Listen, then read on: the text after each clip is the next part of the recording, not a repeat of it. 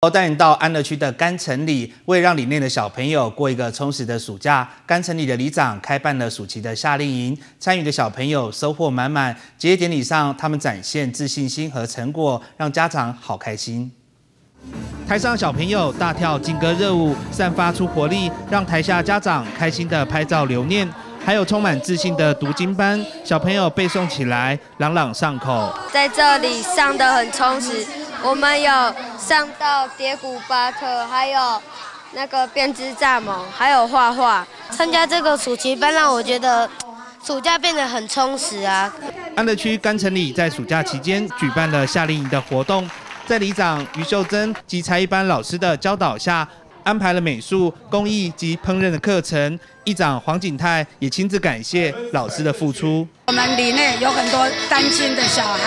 那都是跟着阿公阿妈，好，那我们是希望说，暑假的期间把他们带到这边来，让他们在一起共同生活，学习群的生活。代表我们于秀珍于里长啊，关怀我们这个土地，关怀我们所有里民，为我们所有的学童在暑假能够获得一个美好。充实的暑期生活。甘城里的暑期夏令营开办至今，今年迈入十五个年头，始终默默支持这项活动的安德区公所和前市议员于三发，也希望让孩子们过个充实的暑假。这个十五年当中哦，从来没有一年间断哈，真的是。那么从以前的这个。经费有限，到到现在目前的经费哈，这个呃比较充裕的情况之下，一理事长是快乐处毕业的理事长，目目前现任的这个理事长，他们还自掏腰包啊。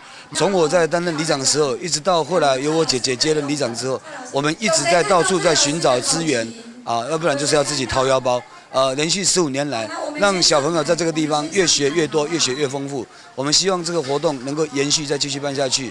超过一个月的夏令营，孩子们收获满满，从他们自信的眼中看到学习的成果。记者黄少明采访报道。